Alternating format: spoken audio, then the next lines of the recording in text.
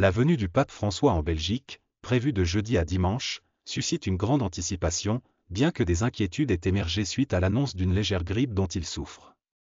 Selon Tommy Scholtes, porte-parole de la conférence épiscopale, le souverain pontife prend du repos et annule certaines de ses audiences pour se préparer à sa visite.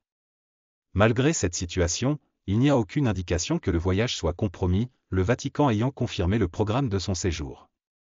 Les frais liés à cette visite sont estimés à environ 3 millions d'euros, financés par l'État belge, les universités de Louvain, le ministère des Affaires étrangères et des dons provenant des fidèles. La coordination des mesures de sécurité est assurée par le Centre de crise nationale, qui reste optimiste quant à la bonne tenue de l'événement, malgré les préoccupations de santé du pape.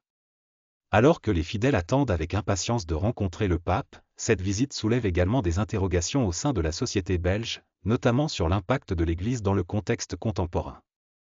Les autorités ecclésiastiques et gouvernementales continuent de travailler en étroite collaboration pour assurer le succès de cet événement marquant.